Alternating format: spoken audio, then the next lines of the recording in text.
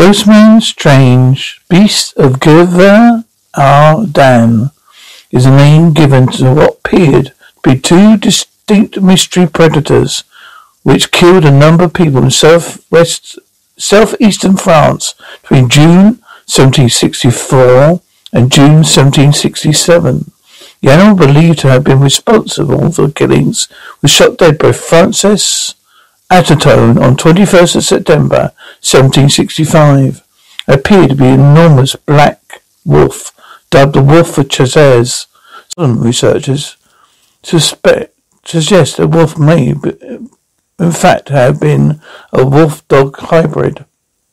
However, the killings did not stop with the death of this animal, but continued for a further two years.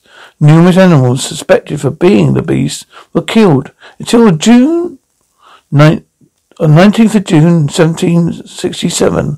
A large dog-like animal was shot by local hunter Jean Chastel. The body of the second beast was sent to the Paris Natural History Museum, where it was formally identified as a striped hyena.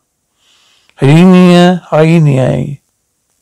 But the specimen was lost or destroyed sometime after 1819. and Identification had been contested by some modern researchers.